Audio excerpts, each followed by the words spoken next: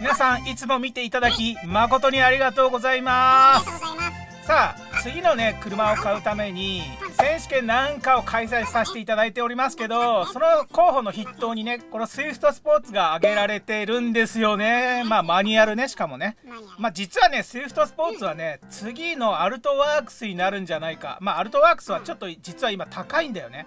まあプレネがつくってことは今持ってる人はまあ、売る時次の車を買い替える時に幸せになれるってことだよね。まあ、アルトワークスは現行の今のアルト8代目アルトだったかな？はアルトワークスを作らないって一応宣言しちゃってんだよね。まあ実際作んじゃねえとか言われてるけど、まあ、マイルドハイブリッドになるんじゃないかって噂もあるしまあ現行のアルトがちょっと背高くなってんだよね前よりも、まあ、居住性が良くなってるって話だけど逆にアルトワークスのりからするとそれいらねえよって話だもんね。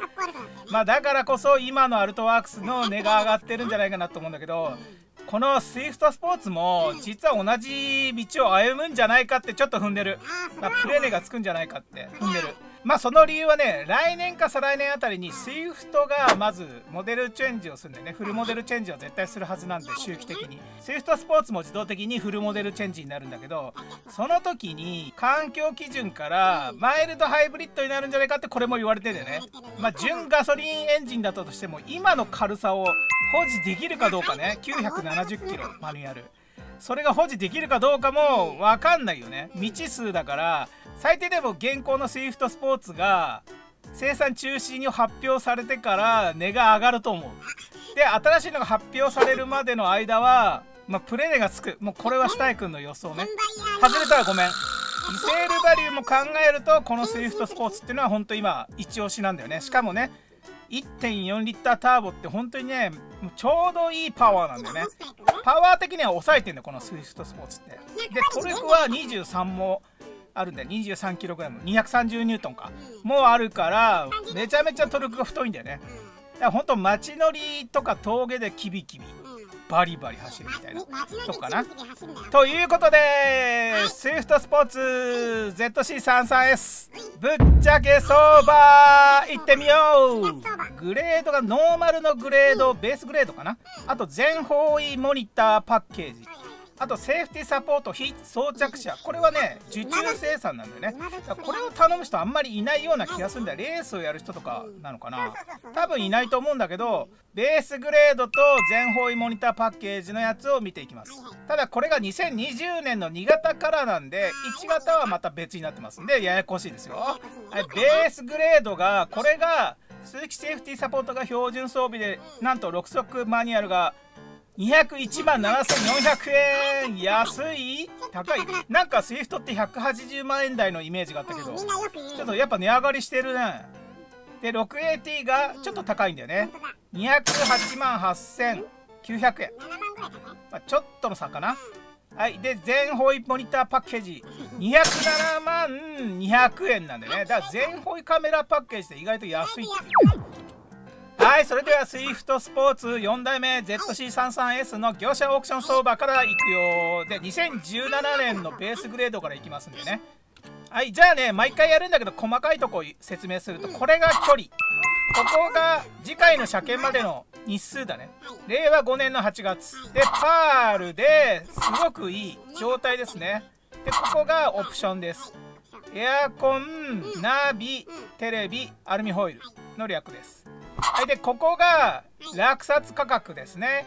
137万円で落札されました。これね意外とアバウトなんだけど一番高い値段を取っております。でここが当時の新車価格。183万6000円だからね今の非装着差と同じ値段な感じだよね、はい、でここの実質リセールがこの新車価格に対してどれぐらいで落札されたかっていうことですね。まあ、これを参考にして、あ、どれぐらいで今自分の車が売れるんだろうなっていう参考にしてください。はい、ということで、2017年のベースグレードの6色マニュアルからいきます。年代別にいきますんでね、ぜひ気になったとこは一時停止してみてください。はいはいはいはいはい。はい。はい、2017年のベースの 6MT の平均が135万円ですね。74%のリセールバリューでございます。ちなみにねオートマ車がなかったです。2017年。なぜか。5年前の車が74%だったらなかなかのリセールバリューだと思っていいと思います。はいそして2017年のじゃあベースグレードの中古車相場はどうなんだいって話だね。はいで中古車相場なんだけど全部紹介してたら大変なんでね。やっぱ一番安いやつを知りたいじゃないですか。だけど距離が走ってる車は安いに決まってるしまあ、めちゃめちゃカスタムしてるやつも安いに決まってるし、まあ、もちろん修復歴ありは安いに決まってるんだからそこは省きたいんでルールとして1年1万2000キロ。なんだけど死体君は1万2000キロ走られるの嫌だなと思うから1年1万キロ分かりやすく。1年1万キロ走ってる計算でそこで一番安いやつを1個紹介しましょう。つまり5年走ったら5万キロ未満の車で一番安いやつを1個紹介する。はいちなみに2017年のスイフトスポーツ6速マニュアルで7万9000キロ走ってるやつね。今下井君が5万キロ以下って言ってるんでここは本当は紹介しないんだけど実質は139万円で販売しておりますね。でこれが今一番安いやつだね。修復歴なしのやつでまあ一番安いやつはこれになります。で18年の6速マニュアル。はいどんどんどんどんいくよ。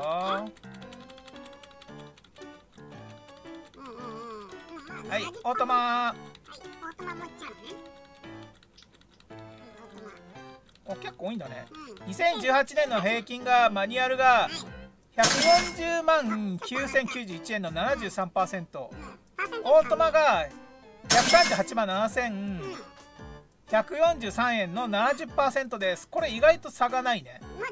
2018年モデルで4万キロ未満のやつって検索するとはいスイフトスポーツのオートマの一番安いやつ。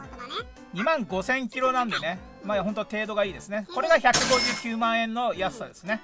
これは安いよね。じゃあマニュアルは？走行距離2万9000円で159万円。おおこれは安いんじゃないですか？落札価格143万5000ちょいなんでもうもちろんこれ消費税足したらもう超えちゃうよね。ということでこの車はお買い得ってことがわかる。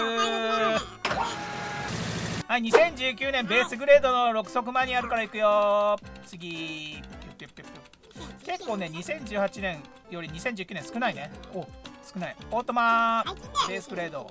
あ少ないね。はいということで2019年のベースの平均が6速マニュアルが150万7143円の81%おおすごい。2019年のオートマは140万2500円の73%です。うわこれ結構差が開いたね。8%も差が開いちゃってるやっぱここはマニュアル強しだな、まあ、今年ちょうど車検が切れる年なんだけど81%はものすごいいいよね。だから今ちょうどね乗り換えもう車検だから乗り換えようって人は81%で売れるっていう嬉しいお知らせだよね。はい2019年なんで3年ということで3万キロ未満。これはね1.1万キロしか走ってないやつだからすごい程度がいいね。これは149.8万円でマニュアル。おおすごいね。これは安いんじゃない？はいちなみにオートマは159万8000円。ちょうど3万キロだからギリセーフだね。まあマニュアルの方が安いってのはやっぱもしかしたら程度の問題かもね。ボディとかのそこら辺の程度の問題かもしれないんでね。これは現地で確認するべきだと思います。はい2020年のベース6速マニュアルから見ていくけどこれはマイナーチェンジ後の2型になりますここから。はいということで見ていくよマイナーチェンジだからまた売れてるかもね。あ意外と売れてないね。はいオートマいきます。2020年。はいはいはいはいはい。あオートマの方が売れてるなぜか。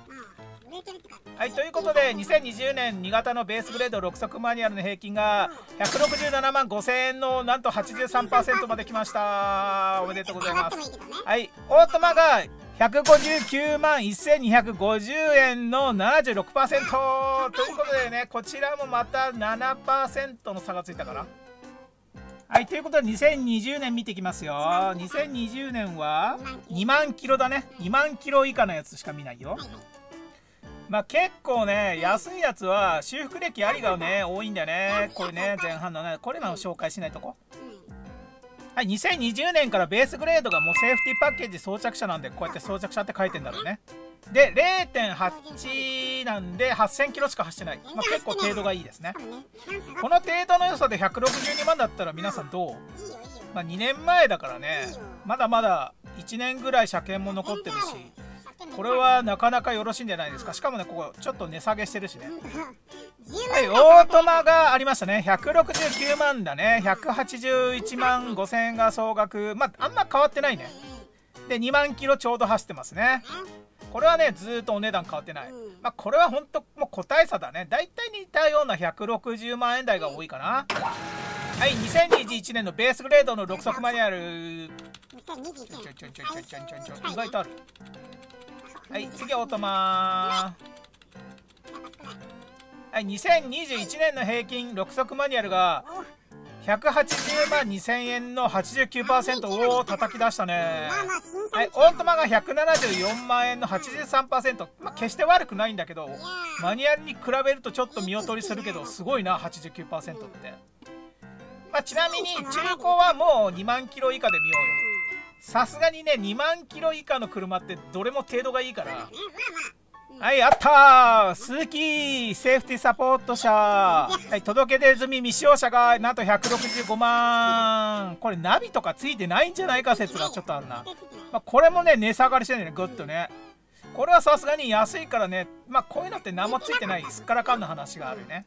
オートマ来たねはい、ということで1.4万キロが168万ということでなんか値段が変わらないね。だいたい160万円後半になってるね。ちなみに2022年は？はい、ベースグレードのマニュアルで175万っていうのが一番新しいのであるね。まあ未使用車な感じするな。まあ、160万後半から170万後半が多分ね最新のモデル2型でしかも全然走ってないやつでこれぐらい値段だなっていうと意外とねお買い得に見えるよね。はいじゃあここからね2017年の鈴木セーフティーパッケージの6速マニュアルから見るよ。まあ、トントンいくよ。意外とね台数が少ないんだよね。セーフティーパッケージ。はい、2017年オートマはいセーフティーパッケージ付き2017年の平均が69%オートマが78%でこれはねマニュアルの方がねこう平均が悪いんだけどこれはね完全に個体差だと思ってください。あの長距離走ったやつが多かったとかそんな感じはい2019年マニュアルからいくよこれね。はい次オートマ2019年だから3年前だからね。そんな悪い車じゃないよ。ちなみに S660 より全然出てないからねはいということで6速マニュアルが78%だね。でオートマが70%でここまでが1型ね。2020年の MT 少なここら辺からあんま売れてないのかもしれないね。はいオートマの方がなんとなく売れてる気がする。はい2020年の6速マニュアルの平均が175万3333円の85%いきなり上がったオートマが140万2000円の69%うわこの差すごいね。ちなみに2020年のベースのマニュアルは83%だったからやっぱ2型になってからちょっと上がってるね。はいということは2型から見ていこうか。中古。セーフティパッケージといっても全方向付きだからねカメラ。はいやったー。2020年のスイスポ結構探した。179万ということで結構値が上がったね。まあまあまあ、それなりのオプションの値段が上がったってぐらいしか上がってないんだけどね。まあ、でもこれも同じく下がってるね、4月にね。4月に何があったんだろう。まあ、これは13キロしか走ってないからすごいいいよね。ナビついてないような気がするけど。ついてるよね。この全方位モニターパッケージはナビついてるはずだからね。今分かったね、全方位モニターパッケージって、この全方位モニター用のナビを装着しないといけまへんって書いてるから、これオプションのナビをつけなきゃいけないんだね。ちょっと、それは分かんないね、これだとね、ナビ付きかどうかね。これだとねナビついてない可能性はちょっとあるね。これカーナビ付きじゃありませんね。これカーナビついてないときついね。おっとネクステージに179万のやつがあるぞ。これはどうなの？ナビついてんじゃないの？あついてるね。これはナビついてますよ。皆さん。まあ値段が同じだね。179万で買えると。まあ気をつけよう。皆さんナビが入ってるかどうか重要。だからやっぱちょっと距離走ってるやつの方がいいよね。未使用車は危ない。はいちなみにオートマはこれだね。185万っていうのがあるね。これが一番安い。意外とここら辺だともうオートマの方が高くなってんだ。なんか不思議な現象だね。はい2021年の6速マニュアルとオートマ。87%と78%だね。まあ、相変わらず10%近くマニュアルの方が高いっていう現象が起きてますね。はいちなみにマニュアルだとこれが一番安いね。まあこれも未使用車だから怪しいけど184万円。はいナビないねこれ多分ね。ナビついてない。で総額が197万なんでまあ、新車を買うよりはまあマシかなと思うけどこっからナビ入れてなんだかんだするでしょ、うん、結局高くなるよね。新車が207万なんでそれは考えるとどうなの？って気はちょっとするよね。まあこれはその人の気分次第だね。すぐ手に入れたい人はこれ買うし、まあ、決してボってるって金額ではないからね。はいということでスイフトスポーツ ZC33S 見ていきました。皆さんいかがでしたか？スタイクねもうちょっと安くなるかなと思ったんだけど意外と高くてびっくり。まあ中古でも安いやつ探せばいいけどもう距離走ってるやつとかになっちゃうんでね。そうそうなるとねリセールバリューも減ったくれもないんだよ実はまあ下井君はでもねあと12年でこいつは高くなると踏んでる。今買うのが、まあ、ベストな気もちょっとするよね。こっから安くなるとあんまり考えにくいから。はいということで今回のぶっちゃけ相場でした。おいおいちょっとこの写真もやってくれよみたいなのコメントお待ちしてますんでぜひチャンネル登録高評価よろしくお願いいたします。じゃあね